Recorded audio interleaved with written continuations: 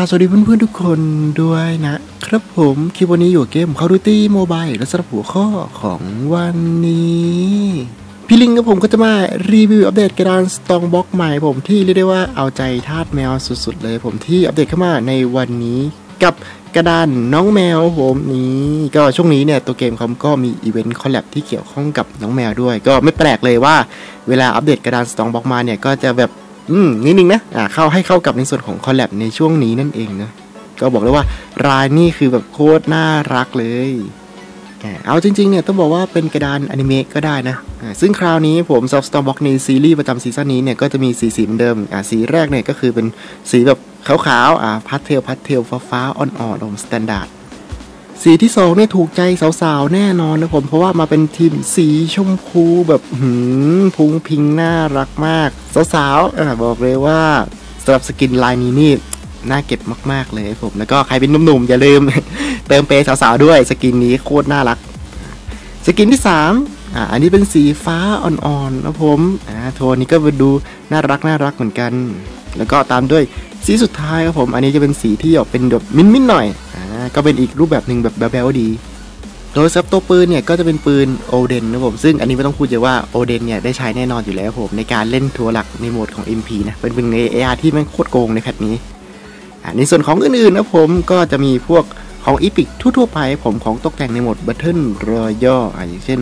พวกอุปกรณ์ต่างๆ เสริมสกินของตัว Jetpack ลายกระเป๋าลายมีดรวมถึง emote อันใหม่อ่าซึ่งก็จะเป็นท่าที่เป็นแบบเปิดตู้เซฟ เจอระเบิดก็รีบปิดตู้เซฟผมเพื่อหลบแรงระเบิดเป็น emote หนึ่งที่ท่าอยู่ค่อนข้างนานเลยนะอ่าก็ดูแปลกตาดีอ่าสำหรับก็ใส่เข้ามาด้วยใครอยากเก็บก็สามารถมาตามเก็บได้ในอีเวนต์ตัวนี้เหมือนกัน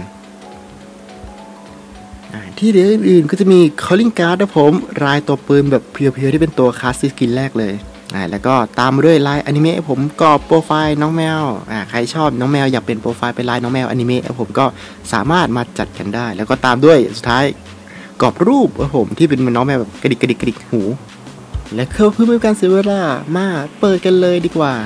อ่าเหมือนเดิมก็ผมเพื่อนๆสามารถใช้คูปองต่างๆ ที่มีในการเปิดหาได้ไม่ว่าจะเป็นคูปองทอง คูปองเงิน หรือว่าคูปองบอลสผมก็ได้จากการทำกิจกรรมแล้วก็อีเวนต์ต่างๆ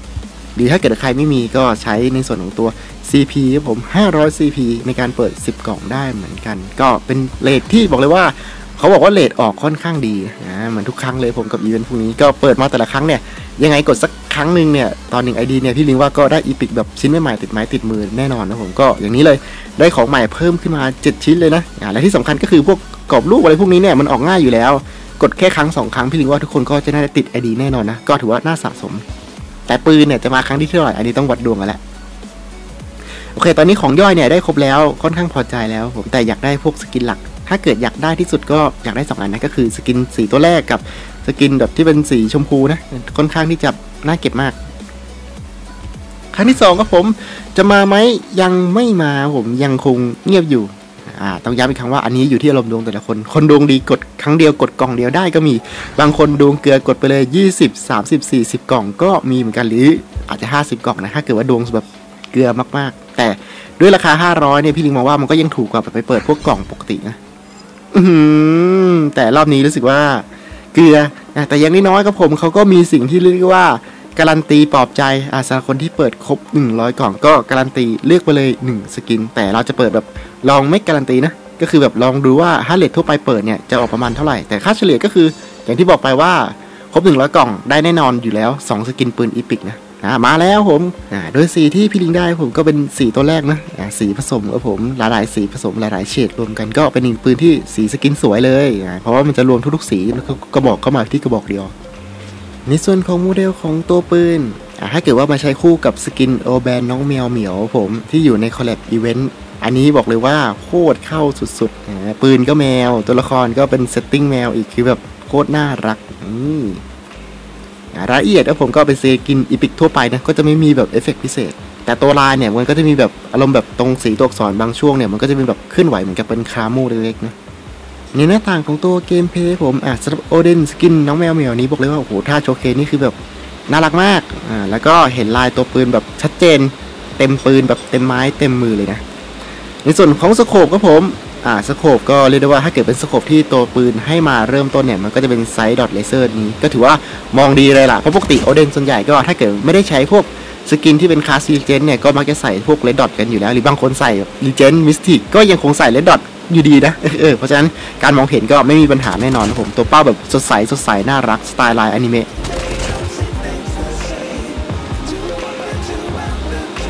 แต่ถ้าว่าถ้าเป็นแบบ scope original ของตัวปืนนะผมที่ไม่ใส่พวก red dot มันก็จะเป็นแบบ scope ทั่วไปครับผมของตัวพวก Oden ก็ถือว่า ดูอ่าดีมาตรฐานนิดนึงอ่าดีกว่าหน่อยๆนะก็ในการลองใช้งานก็ถือว่าใช้งานได้อยู่ แต่อาจจะให้ความรู้สึกแบบแอบเล็งยากนิดนึงอะในบางจังหวะนะเพราะว่ามันไม่มีจุดที่ช่วยเล็งโฟกัสหน่อย เวลาเข้าไปเจอแบบจุดมุมมืดเนี่ยมันจะมองยากนิดนึงในส่วนของ gameplay การใช้งาน Oden เนี่ยก็เป็นปืนที่ดีอยู่แล้วผมนิยมใช้ในเรื่องของการเล่นนะผมทั้งโหมดการแข่งอ่า MP แล้วก็ BR ก็ใช้งานได้ดีไม่แพ้กัน เพราะฉะนั้น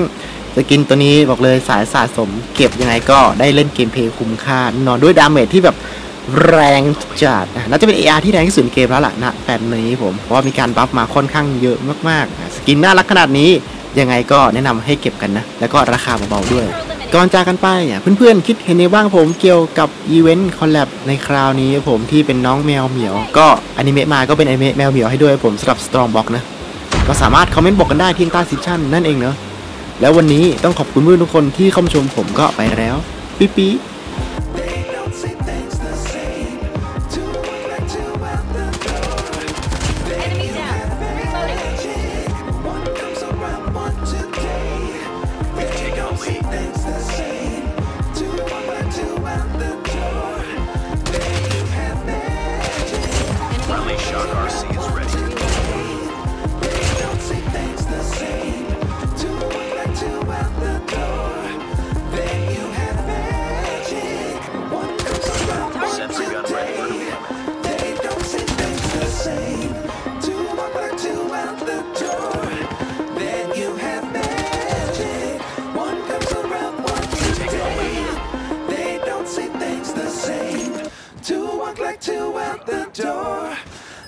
you have Friendly hunter-killer drone deployed.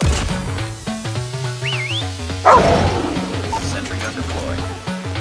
Friendly shock RC is coming. Enemy down.